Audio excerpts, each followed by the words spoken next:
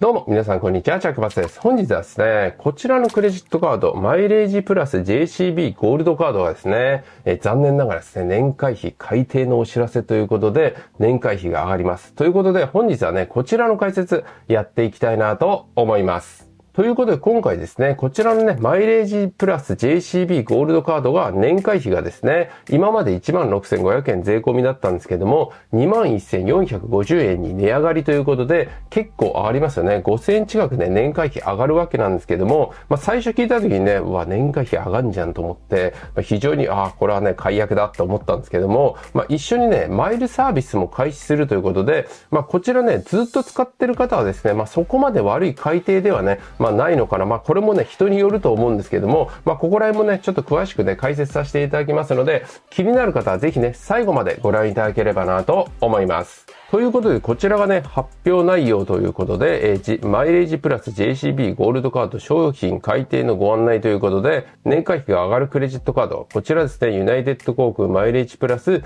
JCB カードですね。こちらが今までね、えー、税込み、16,500円だったものが2024年4月の年会費振り替え分から21,450円にね、えー、値上がりっていた形になります。それ以外のね、この一般カードであったり、クラシックカード。まあ、これはね、年会費が変わらないんですけどけども、今回ね、ここだけ、え年会費がね、引き上げっていた形になります。まあ、それのね、詳細ページがこちらっていう風になっておりまして、え改定内容ですね、年会費が、え改定前16,500円、えー、税込みだったものが21,450円っていった形になります。で、切り替え時期ということで、え新規のね、入会の方に関しては、2024年2月の16日以降に発行した分は、新しい年会費適用されますということで、え2月の16日以降ね、発行していただくと、こちらがね、適用になります。で、2月の15日までね、発行していただくと、16,500円でね、適用っていう風になりますんで、もしね、今のうち発行しておきたいっていう方は、あの2月の15日までね、発行ね、するようにしてください。そうすればね、1年間は16,500円で維持することができるっていった形になります。で、今ね、カードを持っている方に関しては、2024年の4月の10日以降の年会振替分から新年会費がね、適用されますということで、4月の10日以降は21,450円がね、適用っていった形になります。で、まあ、これだけ見るとですね、あの、年会費がね、まあ、上がっただけっていう風になるわけなんですけれども、新たにね、マイルサービスを開始しますということで、まあ、こちらをですね、詳しく見るとですね、まあ、そこまでね、悪くないのかなっていうところなんですよね。で、これがですね、詳細がこちらで、コミットメントボーナスマイルっていうのがですね、開始になるということで、まあ、今回ね、年会費上がるんですけども、まあ、これが始まるんだったら、まあ、そんなに悪くないかなっていう私の見解なんですよね。年会費がこのね、16,500円から21,500円年会費上がるんですけども、ゴールドカードをね、5年以上保有し、改定後の年会費を支払われた年から、毎年4,500マイルプレゼントしますということで、まあ、年会費ね、5,000円ぐらい上がっちゃうんですけども、5年以上持ってる方はですね、新しい年会費払うと、毎年4500マイルもらえるんですよね。しかもこれがね、1回限りではなくて、毎年もらえるっていう風になりますんで、まあそれだったらね、まあいいのではないのかななんていうふうに思います。まあ毎年4500マイル、プラス1000マイル足していただければ、国内のね、特典航空券1回分になりますんで、まあそれだったらですね、まあ5000円以上のね、価値にはなってくると思いますんで、まあこれはね、悪くないのかななんていうふうに思います。で、またね、2024年の4月1日から2025年3月31日までに、このコミットメントボーナスが付与されないゴールド会員の方には、2025年3月末に1000マイルボーナスをプレゼントいたしますということで、この1000マイルに関しては、まあ1回限りですよっていうところですかね。で、このね、5年以上、えー、保有し、新しい年会費を支払った年からね、毎年4500マイルもらえるわけなんですけれども、まあこれがね、どういった方かっていう話ですよね。このね、 Member Since、カード表面のですね、持ってる方はですね、こちら見ていただいて、まあこれがね、2019年ので有効期限、こちらですね。こちら Good、なんて読むんだろう。ちょっとわかんないですけれども、この有効期限月が11月より以前の方は、このね、1000万円ボーナスは対象外なんですけども、コミットメントボーナスは来年のね、2024年4月から2025年3月に適用っていう風になりますんで、ここからね、毎年4500マイルもらえるっていった形になります。で、それ以外ね、2019年の12月よりとか、2023年3月までとか、2023年4月より以降の方は、まあ対象だったり対象外だったりいたしますんで、ここはね、各自ジチェックしていただければな、なんていうふうに思うんですけども、まあ、こういった感じでですね、えゴールドカードをね、5年以上保有した方にですね、年会費ね、新しいの払うと、えー、毎年4500万円もらえるっていうふうになりますんで、これはね、悪くないですよね。で、またですね、このコミットメントボーナスの付与時期の確認方法についてということで、このね、メンバー進出っていうのは入会月にね、えーなるっていう風になりますんで、ですんで今年は2023年なので、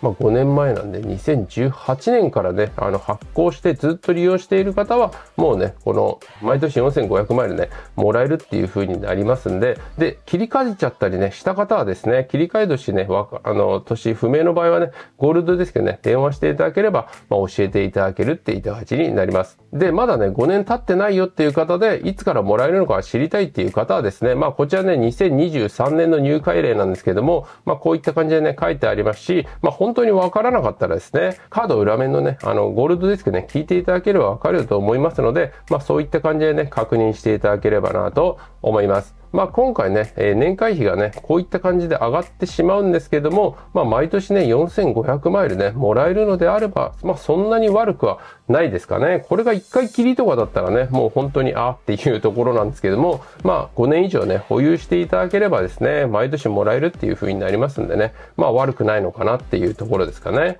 で、今回ですね、5年以上保有している方に、このね、4500マイル毎年もらえるということで、いやいや、まだ私はね、3年目とかね、発行したばっかりとかね、まあそういった方もね、中にはいらっしゃると思いますんで、まだまだね、このコミットメントボーナスまでですね、行き届かないっていう方で、まあ今回の年会費改定ね、5000円ぐらい上がってしまいますんで、まあそうなるとですね、ちょっとゴールドカードって思う方もね、中にはいらっしゃると思うんですよね。まあそういう方はね、どのカードがおすすめなのかっていう話なんですけども、一般カードに落とすっていうのも、まあ手ではないのかななんていうふうに思います。まあこのね、JCB カードでもね、え、年会費5500円で100円で1マイルがね、え、貯まるクレジットカードっていうふうになりますんで、マイレージプラスのね、一般カードでもね、いいのではないのかななんていうふうに思います。こちらもね、概要欄に載せておきますんで、まあいいのではないのかなと思います。で、このね、一般カードの中で、まあこれね、5500円かかるね、クレジットカードになるわけなんですけれども、この一般カードね、JCB 以外からも出ておりまして、まあこのカードですね、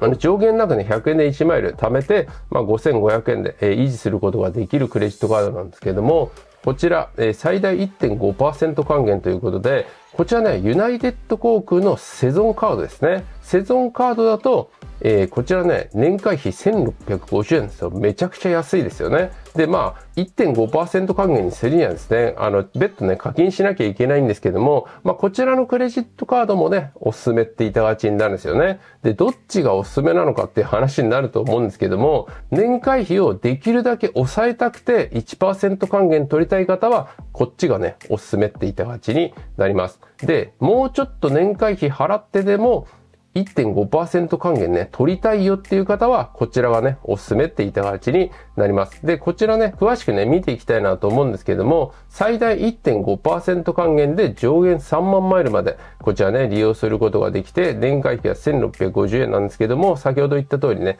別途オプションサービス登録の場合っていうのはね、ありますよね。で、この別途オプションのね、登録の話なんですけども、こちら、マイルアップメンバーに登録していただくと、えこちらになるということで、このマイルアップメンバーっていうのは、追加ね、5500円年間ね、かかってくるっていった形になります。で、先ほど言った通りですね、3万マイルまでっていう風になりますんで、これを超えるとですね、0.5%還元まで落ちるっていう風になりますんで、この点はね、覚えておいてください。この3万マイルがいくらなのかっていうと、ショッピング利用額300万ですね。ですので、このクレジットカードは300万円までの決済が1.5%還元で、ユナイテッド航空のね、マイルが貯めることができます。で、年会費は、1650円なんですけども、マイルアップメンバーにね、登録しなきゃいけないので、これが5500円なんで、7150円になるっていった形になります。で、このクレジットカードですね、国際ブランドがビザ、えー、アメックス、マスターとね、選べるわけなんですけども、こちらですね、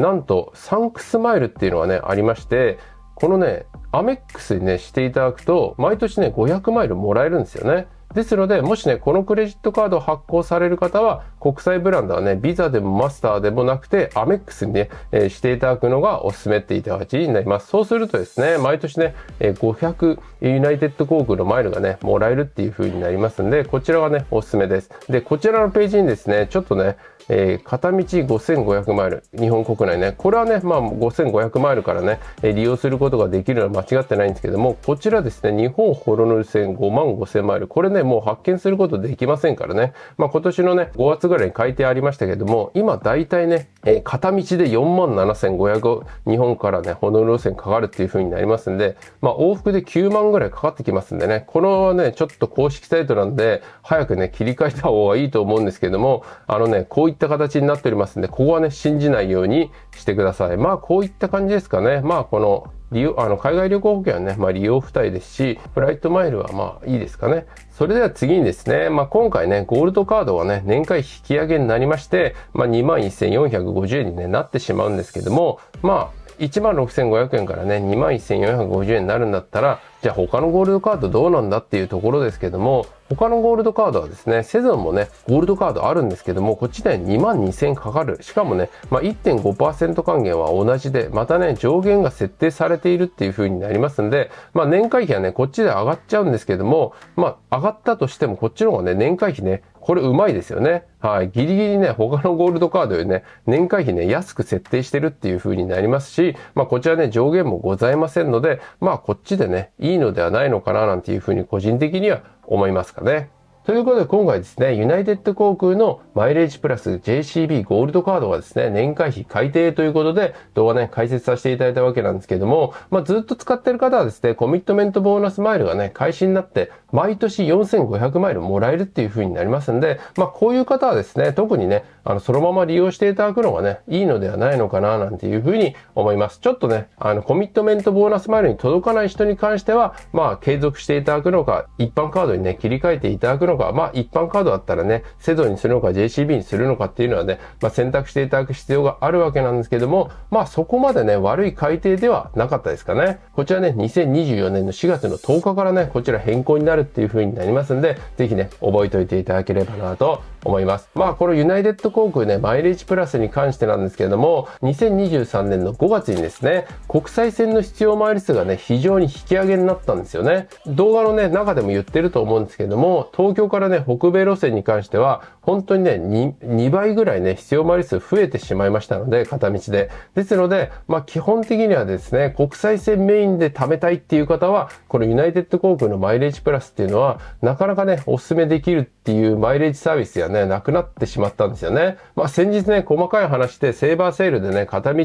え東京から西海岸ね、3万マイルぐらいでね、発見することができましたので、まあ、こういったね、まあ、これもキャンペーンじゃなくて、ただのセーバー特典、まあ、ついてるからね、マイルが下がっただけだと思うんですけども、まあ、こういうのもね、あったんですけども、これがね、今後定期的にあるかどうかっていうのは正直私にもわからないので、まあ、基本のマイル数でね、上がってしまった以上ですね、まあ、国際線でね、メインでお勧めするっていうのはね、なかなか厳しい部分があるんですよね。で、またね、先日国内線のえー、国内のね、乗り継ぎ時間っていうのが、まあ今までですね、かなり長時間ね、12時間だったかな。はい、日をまたいでとかもね、利用することができたんですけども、今はね、最大でも6、7時間ぐらいまでね、縮小されて、日をまたぐね、国内線の乗り継ぎも、あの、利用することができなくなってしまったので、このユナイテッド航空のね、マイレージプラスっていうのは、まあちょっとね、先行きはね、かなり不安なマイレージサービスではあるんですよね。今年になってね、かなり解約が入ってきておりますんで、まあさらにね、あのー、国内線の必要マイル数が引き上げがね、もしかしたらあるかもしれないっていうのもね、まあ視野に入れといた方がいいかもしれないですかね。この外資系のマイルっていうのは、本当に解約が入るとね、一気にズバンと入ってきて、事前あの、アナウンスもなしでね、入ってくるっていう風になりますんで、このリスクがあるっていうことは、ぜひね、忘れないでいただきたいな、なんていう風に思います。ということで、今回の動画はね、こんな感じで終わりたいなと思います。この動画が役に立った方は、いいね、チャンネル登録ぜひお願いいたします。私、ブログ、ツイッター、インスタグラム、LINE 公式アカウントやっておりますんで、ぜひね、チェックしてあげるととても嬉しいです。それではまた次の動画でお会いいたしましょう。バイバイ